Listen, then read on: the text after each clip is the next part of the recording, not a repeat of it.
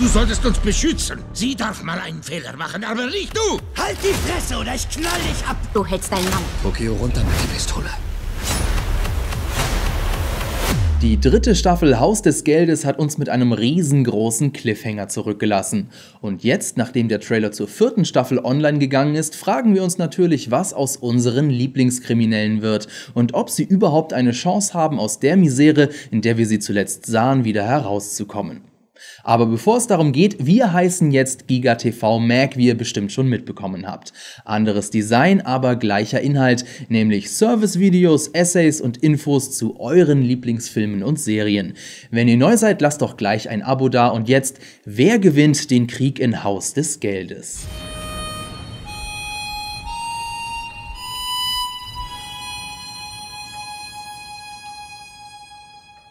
Am Ende der dritten Staffel sieht es nicht gut aus. Der zweite Raubüberfall der Gruppe ist sichtbar chaotisch verlaufen. Kein Wunder, anders als beim Überfall auf die Notenbank wurde nicht jahrzehntelang geplant. Nairobi scheint tödlich verletzt und der Professor spricht von einem Angriff auf das System, weil er glaubt, dass die Polizei Raquel getötet hat. Und damit fing der Krieg an. Im kommenden Krieg gegen den Staat, den der Professor nun ausgerufen hat, ist natürlich die Frage, wie verhält sich die Bevölkerung? In der Vergangenheit stand diese in großen Teilen auf der Seite der Bankräuber, die sie als Robin Hoods und Rebellen feierte.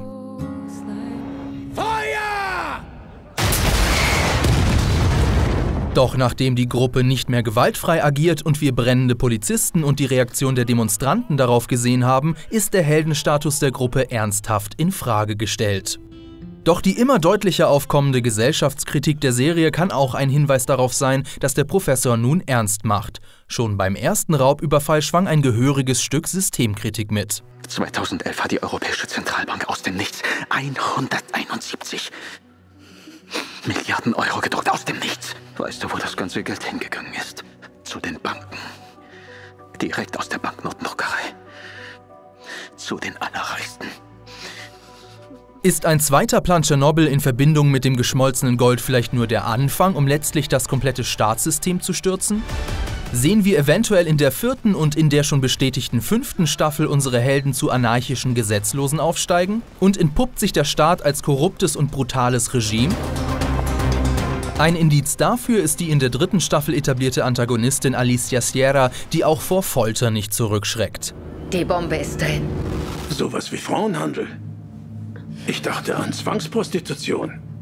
Sowas würden die Bürger nicht verzeihen. Genauso skrupellos ist auch der Geheimdienst, der bereits in der ersten Staffel Lügen und Falschmeldungen über die Banditen streute. Andres de Fonollosa werden auch Sexualstraftaten vorgeworfen. Was für ein Lebenslauf. Hm? Und dann sind da ja noch die Salvador Dali-Masken, die uns nicht nur wie for Vendetta-Vibes geben. Der exzentrische Künstler, dem die Masken nachempfunden sind, liebäugelte Zeit seines Lebens mit der Anarchie.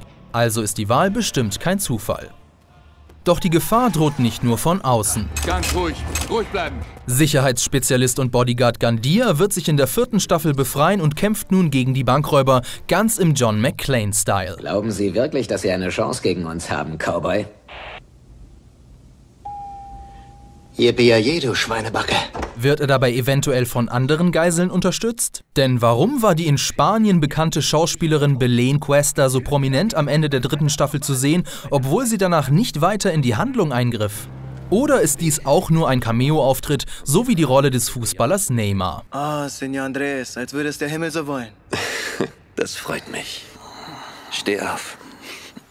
Lass uns zusammen frühstücken, okay? Tatjana ist auch hier. Im Trailer ist Meisterdiebin Tatjana nicht zu sehen, doch auch ihre Einführung in der dritten Staffel verspricht einen größeren Handlungsstrang. Berlin hat sie schließlich in alle Details des Plans eingeweiht. Ach übrigens, sie findet den Überfall auf die Bank super. Die Frage ist also, wann taucht sie auf und auf wessen Seite wird sie stehen? Die Theorie, dass sie und Alicia Sierra die gleiche Person sind, halten wir übrigens für Quatsch. Aber wer weiß das schon, bei Haus des Geldes gibt es schließlich innerhalb einer Episode mehr Plot-Twists als in M. Night Shyamalans Filmen zusammengenommen. Heißt das, du bist der Meinung, dass die Frau meines Lebens mich verraten Das ist nicht nur eine Meinung, das ist eine Tatsache. Im Trailer wird auch klar, dass die vierte Staffel alles andere als einfach für Raquel wird. Alicia schlägt ihr einen Deal vor, ihre Freiheit für die Kooperation mit der Polizei. Andernfalls drohen der ehemaligen Beamtin bis zu 30 Jahre Haft. Es tut mir alles so leid. Wie wird Raquel reagieren? Das versöhnliche Gespräch zwischen ihr und dem Professor am Ende der Staffel 3 liest sich nun im Rückblick wie ein Abschied. Sehen sympathisch aus, oder? Doch ist Raquel wirklich Sierras einziger Trumpf? Denn was ist mit Rio während seiner Gefangenschaft passiert? Hat Sierra ihn eventuell einer Gehirnwäsche unterzogen und zu einem Doppelagenten gemacht? Wir müssen uns trennen. Denn dass er als erstes zurück in der Bank mit Tokio Schluss macht, entspricht so gar nicht seinem Charakter. Und alles, was wir über seine Folter wissen, hat er uns erzählt. Wo wurdest du festgehalten? In einer Zelle. Sie war winzig. Wie ein Sarg. Ich konnte mich nicht mal hinsetzen. Ich musste die ganze Zeit stehen. Wie viele Tage? Ich weiß nicht. Nach vier bis fünf Tagen wusste ich es nicht mehr. Dahingegen ist sein Umgang mit Sierra eher ambivalent. Na los. Wir müssen dich fürs Fernsehen etwas auffrischen. Jetzt komm. Aufstehen. Und dann bleibt natürlich noch die große Frage, wer die vierte Staffel überleben wird. Um Nairobi sieht es gar nicht gut aus. Auch Helsinki scheint in echte Schwierigkeiten zu geraten. Und wir können nur hoffen, dass die anderen in diesem Krieg unversehrt bleiben. Sie meinten, Sie schaffen das.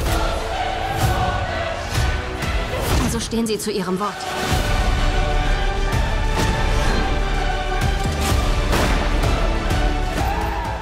Was denkt ihr? Wie wird sich die vierte Staffel entwickeln? Was sind eure Theorien? Schreibt es in die Kommentare und wenn ihr schon dabei seid, lasst uns gerne auch ein Like und ein Abo da.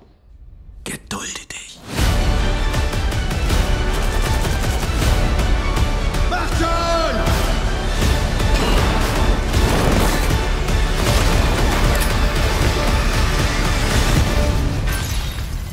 Das ist mehr als ein Überfall und das weißt du ganz genau.